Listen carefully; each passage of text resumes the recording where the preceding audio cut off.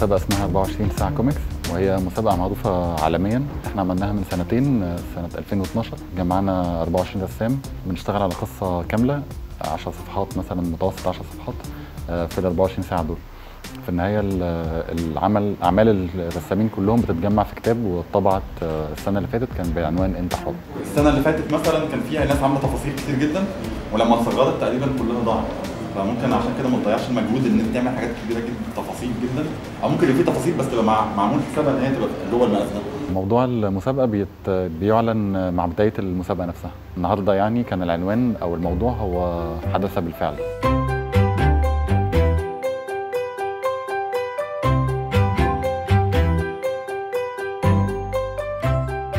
هي تحدي ال 24 ساعة كوميكس ده حاجة عالمية ويعني وكانت حاجة كويسة جدا. أنا بشجع شناوي وبشكره يعني إن هو عملها لنا في مصر.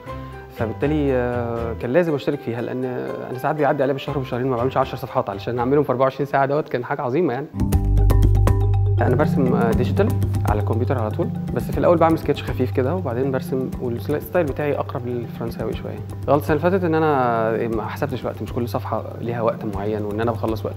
المرة دي خليت الرسومات أقل في الصفحة ومفرودة علشان تبان لأن أنا كنت مكبر قوي فبالتالي لما صغرت بقت ما في تفاصيل كتيرة اللي أنا تعبت فيها وضيعت فيها وقت ما بانتش بعد كده.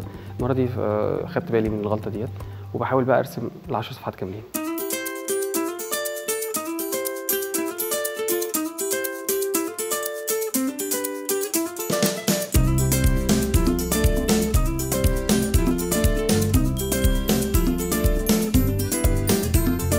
حبيب قلبي. صباح الفل. حاجة ساعه ولا بس؟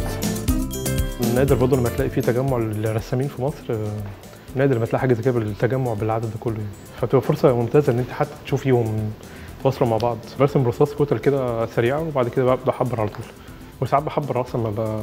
ما بقاش في وقت إن أنا أقعد أرسم بالرصاص كل ما كان القصة اللي أنت هتعمليها مرتبطة بيكي أو حصلت لك أو كده ده بيبقى قصدك شوية في نقل مشاعرها أو نقل التجربة الشخصية بتاعتها.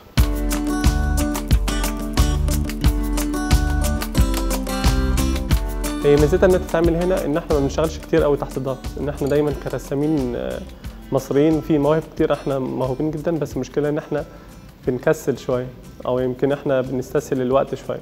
حاجة زي كده بتخليك تطلع شغل في وقت كويس ووقت قليل وفي نفس الوقت تطلع شغل كواليتي كويس.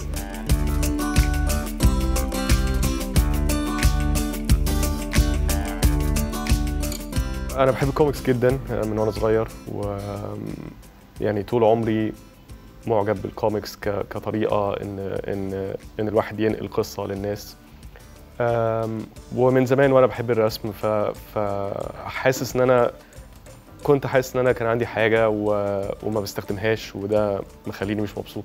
حاجة ليها علاقة بالقصر العيني. القصر العيني بالنسبة لي ده أغرب مكان في العالم فقررت إن أنا اختار قصص من اللي حصلت لي فيها من اللي حصل لي في المكان ده. وهم خمس قصص وما لهمش علاقة ببعض ومسميها قصص مريبة من القصر العيني.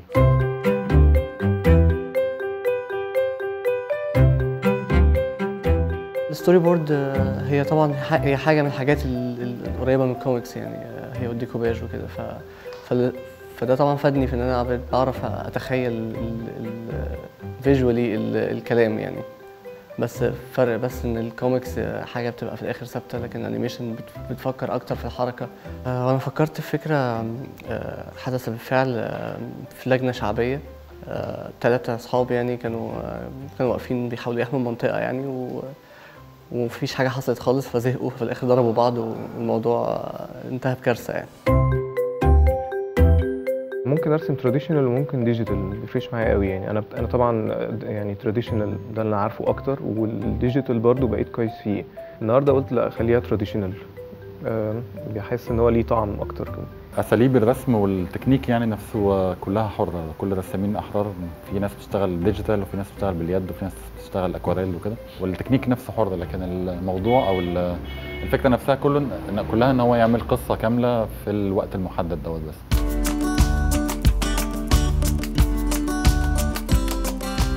إعلان المسابقة كان متاح إن الرسام لو هو مش بيكتب لنفسه يستعين بكاتب يشتغل معاه. في آه، مشاركين آه، اشتركوا مع كتاب. كاتب بيعمل السيناريو يعني والرسام هو اللي بي- بينفذ القصة. أنا رسم عامة بحب الحاجات اللي هي light ما بحبش أرسم حاجات آه، تقيلة أو كده أو حاجات فيها realistic أو بحب الحاجات تبقى كاريكاتيريه أكتر يعني. أنا قلت له الفكرة أو قلت له القصة وهو ابتدى يعمل الحوار بتاعها. إحنا عاوزين أول كادر يحصل فيه حاجة معينة. ومش عارفين القصة هيحصل فيها إيه. وبعد ما بيرسم الكادر نبدأ نفكر إيه اللي ممكن يحصل. يعني عاملين فكرة نعمل مغامرة كده في الكتابة والرسم وإحنا شغالين مع بعض. الكوميكس بالنسبة لي أنا يعني من الحاجات الصعبة لأن هي لازم تكوني دارسة كادرات ولازم تكوني عارفة هتوزعي الشخصيات إزاي غير إن انت already بتصممي شخصية وبتحللي آه، سيناريو لكادرات معينة ف- فده صعب. آه، بس م- لو حد already بيعرف يرسم فلا سهل إن هو مع دراسته لحاجات أجنبية وكده يقدر يفهم شوية الكوميكس عبد الله هو أصلا صديقي وهو مصور ملوش علاقة بالكتابة بس كنا عملنا مع بعض strips كده اسمها بقليل فاستعنت بيه إن هو يشارك معايا في في 24 ساعة كوميكس المرة دي. فهو لا هو صاحب الفكرة والسيناريو وبيديني تخيل عن الكادرات شوية بما إنه بيصور. وأنا برسم بقى. هو ما دام إحنا الاتنين متواصلين في في حتة السيناريو وبوصل لها الفكرة اللي هي عايزاها اللي هي تقدر ترسمها خلاص يعني وبتعجبها يبقى خلاص. ما دام بتشوف الحاجة اللي هي بترسمها في اللي أنا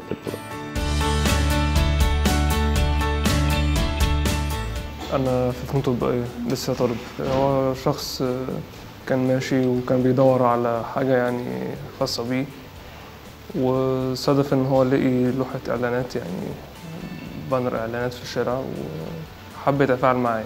اتكلمنا عن أحداث آه، حريق القاهرة.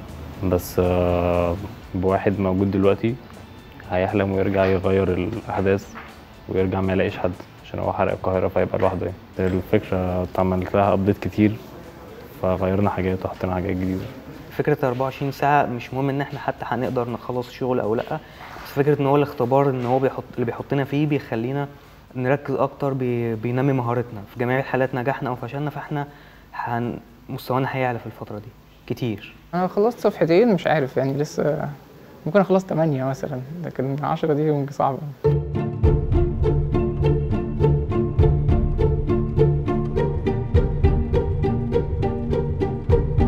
الرسام يعني ما دام عارف إن هو يخلص في 24 ساعة. وعارف القصة ممكن تاخد منه وقت قد إيه فهو بيعمل رتم لنفسه يخلص كل ساعة مثلا صفحة أو كل ساعتين. آه، هو مش سهل ده هو صعب لكن هي المسابقه كده في العالم كله. وهي دي الفكرة إن الرسام جزء من الاحتراف بتاع الرسامين إن هو يقدر يظبط الميكانيزم الشغل بتاعه على على عدد الساعات المتاحة ليه يعني.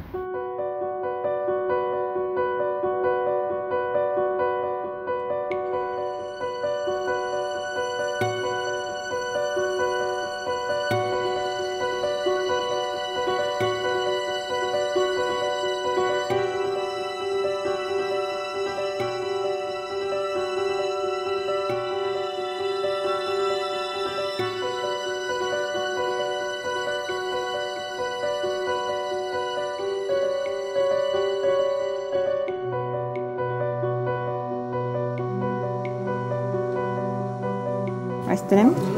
مش عارف توقع بقى في الساعتين الجايين الناس هتقع. الناس هتنام يعني. يا ريت ما تصوريش شوية اللي جايين.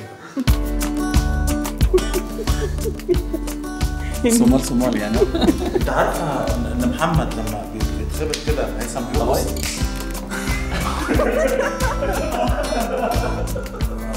لا تطلع ولا إيه؟